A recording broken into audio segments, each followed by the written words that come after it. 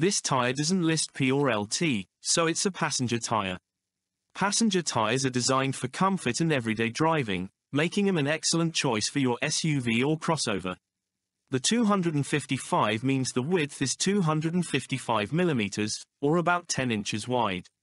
A wider tire enhances traction and provides better stability, especially when navigating turns. Next, we have the aspect ratio.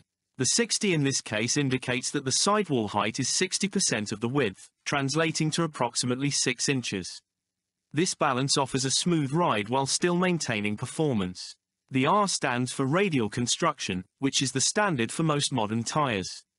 Radial tires deliver superior handling and better fuel efficiency, which is crucial for everyday driving. And the final number, 18, tells us the wheel size in inches. This means that the 255 60ths R18 tire is designed to fit an 18-inch wheel.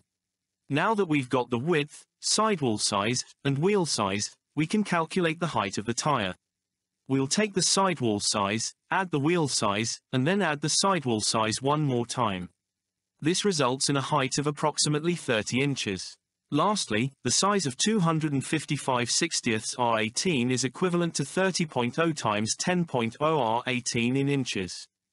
Based on our observation, the 255 60ths R18 tire size excels in providing a comfortable ride without compromising performance.